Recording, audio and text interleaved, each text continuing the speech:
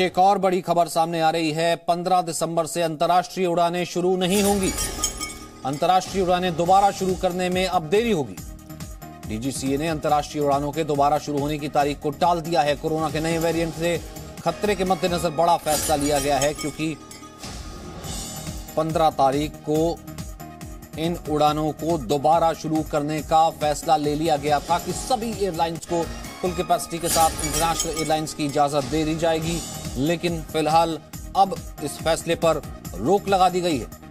एक बड़ा फैसला है कि अब 15 दिसंबर के बाद भी इन उड़ानों पर रोक रहेगी। तो कोरोना के नए वेरिएंट के खतरे के मद्देनजर ये बड़ा फैसला लिया गया है।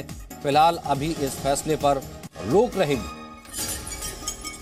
अभी रेगुलर यानी कि अभी इमरजेंसी के लिए या फिर वैसे जो है बहुत ही लिमिटेड कैपेसिटी में अंतर्राष्ट्रीय उड़ानें चल रही थी।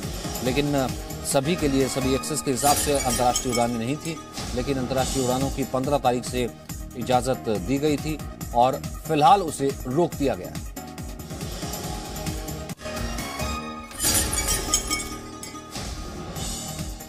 Presenting B News app, available on Google Play and App Store. Download it now.